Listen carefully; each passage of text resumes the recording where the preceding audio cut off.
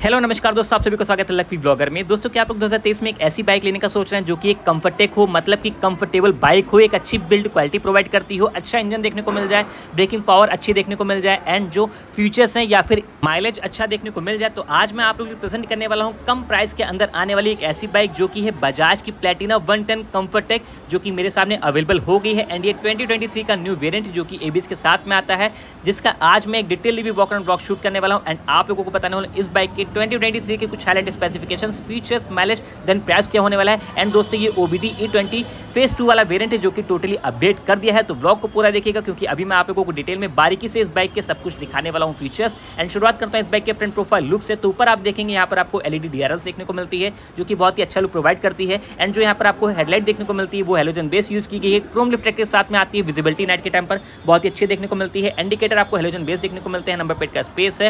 And ऊपर देखेंगे तो वाइजर देखने को मिलता है, जो कि ग्लॉसी ब्लैक ट्रांसपेरेंट यूज़ किया गया सॉलिड सा।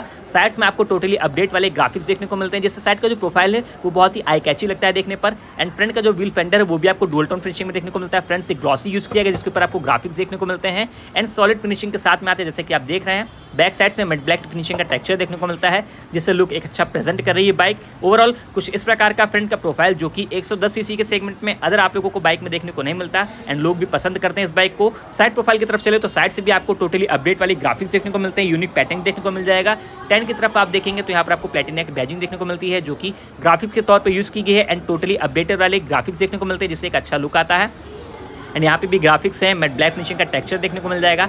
बैक साइड में देखेंगे तो वन टेन की बैजिंग देखने को मिलती है एंड टोटली अपडेट वाली ग्राफिक्स देखने को मिल जाएँगे। सो ओवरऑल दोस्तों, कुछ इस प्रकार का पूरा सेट का प्रोफ़ाइल जो कि आई होप आप लोगों को अच्छा लग रहा होगा एंड लोगों को भी पसंद आता है क्योंकि 110 सीसी के सेगमेंट में बहुत ही अच्छे फीचर्स प्रोवाइड करती है। एंड अब बात करें तो इस बाइक के इंजन के बारे में तो इस बाइक में आप लोगों को वन सीसी का four stroke single cylinder electronic ignition वाला इंजन देखने को मिलता है जो कि आता है O B D phase two E twenty के साथ में टोटली अपडेट होकर, जिसकी मैक्स पावर है 8.4 पीएस की एंड जो मैक्स टॉर्क है वो है 9.8 न्यूटन मीटर की एंड 5 स्पीड का मैनुअल ट्रांसमिशन आपको देखने को मिल जाएगा।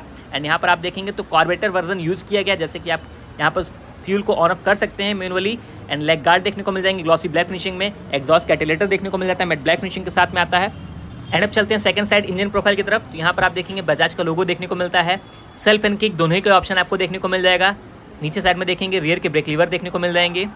एंड रियर प्रोफ़ाइल की तरफ़ आ जाएँगे तो यहाँ पर आपको सिंगल बैरल एग्जॉस्ट देखने को मिलता है, जो कि बहुत ही स्मूदी वॉइस के साथ में आता है, जिसके ऊपर आपको क्रोम फिनिशिंग का एक काउल देखने को मिलता है डिज़ाइन के साथ में, जिससे साइड का जो प्रोफ़ाइल है वो और भी ज़्यादा इनहेंस हो जाता है बाइक बहुत ही ज़बरदस्त लगती है साइड से देखने पर। एंड अब बात करते हैं इस बाइक के मीटर कॉन्सोल के बारे में। तो यहाँ पर आप लोगों को एनोलॉग प्लस डिजिटल वाला मीटर कॉन्सोल देखने को मिलता है, लेकिन माफ़ कीजिएगा, इस बाइक में बैटरी कनेक्शन नहीं है, क्योंकि बाइक अभी अनलोड होकर आई है। तो मैं आप लोगों को ऐसे ही दिखा देता हूँ। एंड फीचर्स बहुत ही अच्छे यूज़ किए गए हैं। एक बार मैं आपको चाबी दिखा दूँ, कुछ इस प्रकार की बजाज का लोगो देखने को मिल जाएगा। एंड इसी मीटर कॉन्सोल के अंदर आप देखेंगे तो लेफ़्ट साइड में आपको स्पीडोमीटर देखने को मिलता है, जिसकी मैक्स स्पीड है 120 की। जैसा कि आप देख रहे हैं क्रोम ट्रीटमेंट भी यूज़ किया गया सराउंडिंग में। एंड राइट साइड में आपको डिस्प्ले देखने को मिलेगा, जिसके अंदर आप लोगों को फ्यूल इग्निशन टिप मीटर के गियर पोजिशन जैसे फीचर्स आपको देखने को मिल जाएँगे, जिसको आप अपने हिसाब से चेंज भी कर सकते हैं। एंड यहाँ पर मोड का भी बटन है।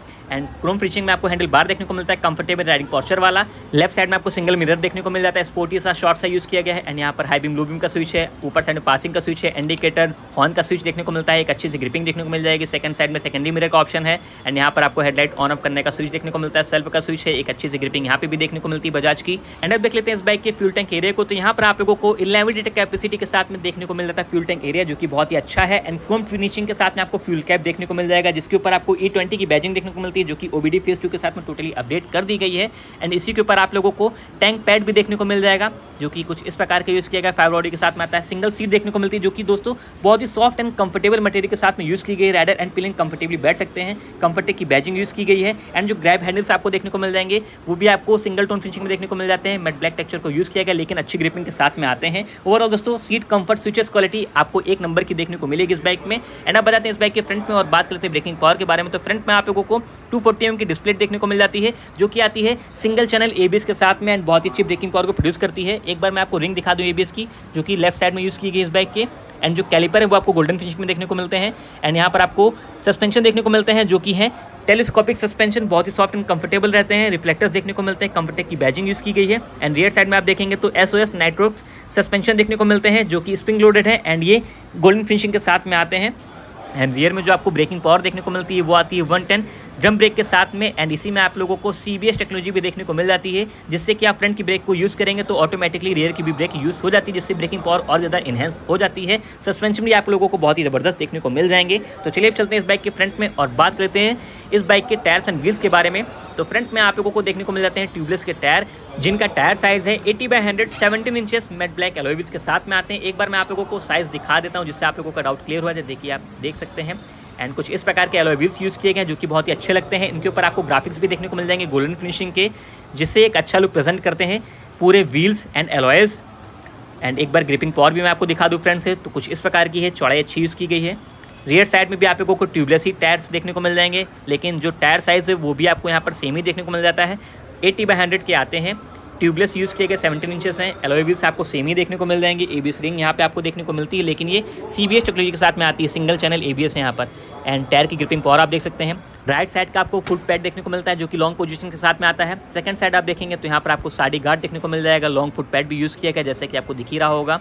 एंड यहाँ पे आपको लेफ़्ट साइड का सिंगल फुट स्टेप देखने को मिलता है पैड के साथ में एंड पूरी चैन कवरिंग के साथ में देखने को मिलती है फाइव रोडी के साथ में आती है। एंड यहाँ पे आपको साइड स्टैंड कट ऑफ़ का सिस्टम देखने को मिल जाएगा, जिसका इग्निशन मीटर कौन सा यूज़ किया गया है। सो ओवरऑल दोस्तों, कुछ इस प्रकार का पूरा वॉकर एंड ब्लॉग एंड मैं आप लोगों को इस बाइक का शोरूम प्राइस बता दूँ, जो कि है seventy nine thousand six hundred के अप्रॉक्स में। एंड जो ऑनर प्राइस है लखनऊ का वो है ninety five thousand two hundred के अप्रॉक्स में। एंड अगर बात करें माइलेज की तो इस बाइक में आप लोगों को सत्तर से पचहत्तर के एम का माइलेज देखने को मिल जाएगा, जो कि मेरे हिसाब से बहुत ही अच्छा है। कंफर्टेबली आप इस बाइक को कहीं पर राइड करेंगे, कोई प्रॉब्लम क्रिएट नहीं होगी। क्योंकि ये कम्फर्टेक के साथ में आती है सॉफ्ट एंड कंफर्टेबल है। तो आई होप दोस्तों आप लोगों को आज की ब्लॉग अच्छी लगी होगी तो प्लीज़ चैनल को सब्सक्राइब करेगा एंड मिलते हैं आप लोगों से बहुत जल्दी नेक्स्ट ब्लॉग में, तब तक के लिए take care and bye bye